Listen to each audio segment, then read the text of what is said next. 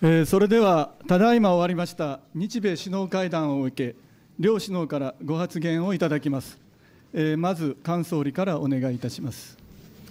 まずオバマ大統領の訪日を心から歓迎をいたします。ちょうど1年前、えー、大統領はアジア歴訪の最初の訪問国として、えー、我が国に来られ、まあ、今回は多くの国をアジアを回られた後再びこの横浜に来られたこと、大変嬉しく思っております。今日は大変実りの多い会談をさせていただきました。まず、日本とアメリカがこの APEC という太平洋を取り囲む国々の会合の中で、より協力して対応していこうと、こういう点で合意を改めていたしました。また、この間、日本が、まあ、中国やロシアとの関係で、いろいろな問題があった中では、一貫して、米国がわれわれをサポートしていただいたことについても、私からお礼を申し上げました。まあ、そういう中で、えー、この地域の平和安全のためには、米国の存在、米軍のプレゼンツというものが、より重要であるという認識を、私自身もですが、多くの国民や、あるいは近隣の諸国も持ったということを私が申し上げたところであります。まあ、そういう中で、えー、いろいろ両国の間のホストネーションサポートの問題とか、いろいろな課題について、えー、合意をしてきているわけでありますし、また、沖縄の問題についても、えー、私としては、まあ、知事選が終わった段階から改めて、えー、私なりに最大の努力をしていきたい、5月28日の日米合意をベースにして、えー、最大の努力をしていきたいと、こういったことも申し上げたところであります。えー、また、経済面においても、今回の包括的貿易経済連携の問題で、我が国が大きく開国の方向に進んだことを説明し、大統領からも歓迎するという趣旨のお話をいただきました。まあ、TPP については、9か国の参加国がありますけれども、それぞれの国との間で、協議を行いたい、アメリカの間でも情報収集等を含めた協議を行うことについて、大統領にもサポートしていただけると、まあ、こういうことがあったところであります。またあの本当に幅広くお話をしましたが、えー、国際的なこの大きな変化の中で、それぞれの国が国際的なルールをしっかりと守りながら進めていくことが必要だと、まあ、大統領からは、我が国はその、まあ、モデルともいえる国だという話もありまして、まあ、そういう中で、えー、将来の国連における安全保障理事国といった問題についても、改めてサポートをするという、そうしたお話もいただいたところであります。そういったことで、え、あと年が明け、来年の春頃には、ま、私にアメリカに、え、来るようにという招待もいただきました。またその時には、あまあ、今年が日米安保条約50周年でありましたが、えー、来年の私が訪米するときには、えー、共同声明が幅広い形で出せるように、えー、そうした作業の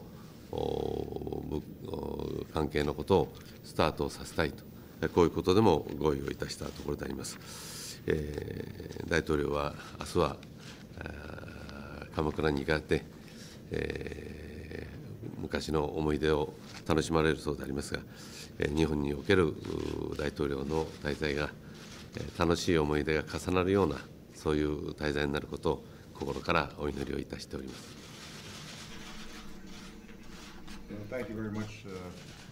菅総理どうもありがとうございます。温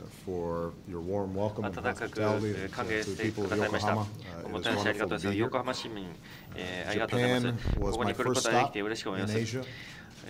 As president? 去年、大統領としてのアジア訪問の時に、一番最初に来た国は日本でした。APEC 首脳会議のために、また日本に来ることができて嬉しく思います。日本国民に対して大変感謝しております。アメリカ国民からご挨拶申し上げたいと思います。半世紀、同盟国を同盟関係を持ってきた日米ですけれども、日米同盟は安全保障及び繁栄の土台を成してきました。日本とアメリカにとってだけではなくて、地域全体にとってです。日本とアメリカのおかげで経済大国になってきています。また、北米の外での日本は我が国の2番目に大きい防衛相手国となっています。家族、ビジネスパーソン、学生、ツーリストなどのおかげで人的交流はいろいろと絆はあるわけです。毎日のようによりえー、候補を示してなってきているわけです。アジア、世界においてパートナーであります。本当に日本は模範的な、えー、国際的な市民であると、国際的な規則とか基準を本当に支持して、おかげで全ての人々はより反映するようなものであるということで、このようなパートナーシップを本当に私は評価しております。総理から話があったように、幅広い一連の問題について、えー、議論がありました。経済関係について、えー、本日オープンスカイ合意について、えー、今日発行するということで、おかげで、えー、人々とビジネスの間の絆が強くなります。またクリーンエネルギーのパートナーシップを新しく打ち出すわけです。G20 の後に APEC で緊密に協議してきました。そういう話をしました。また今回の開催について日本はいろい努力したことに対してお願い申し上げました。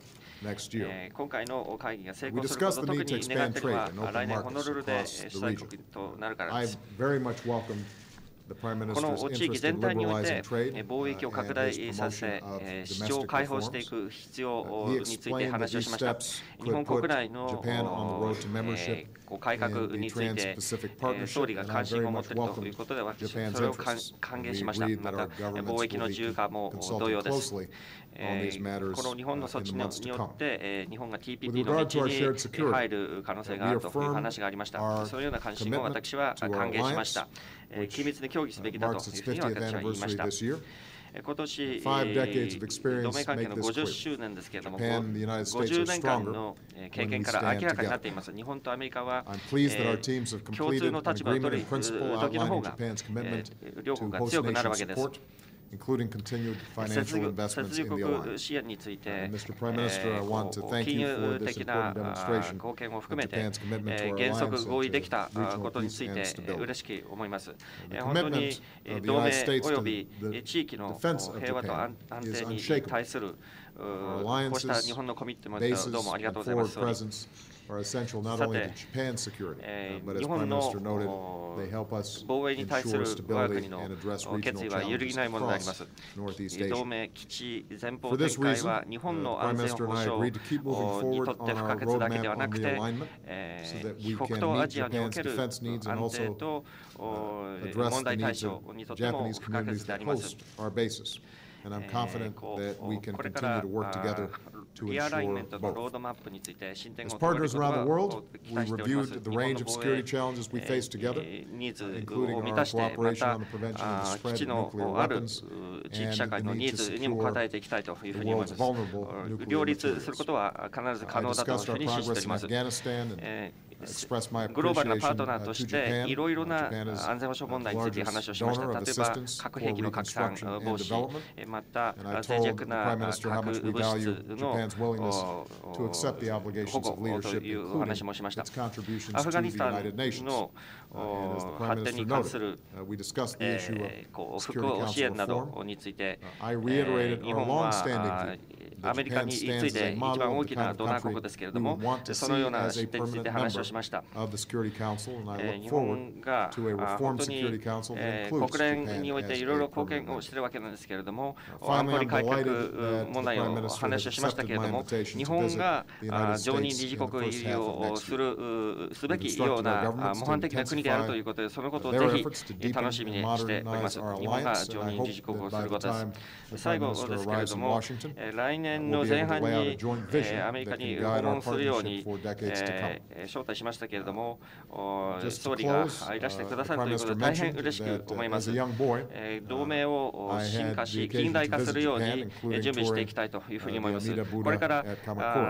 同盟関係の将来像について、えー、こうパートナーシップに関するビジョンを打ち出したいというふうに思います。えー、子供の頃、えー、鎌倉の大仏など訪問すること懐かしい思い出になってますけど、明日もぜひこうした素晴らしい日本の文化を楽しんでいきたいと思います。皆さんのおもてなし、皆さんの友情、どうもありがとうございます。総理、これから今回のサミットだけではなくて、いろんな二国間問題においては、これから何年も協力していきましょう。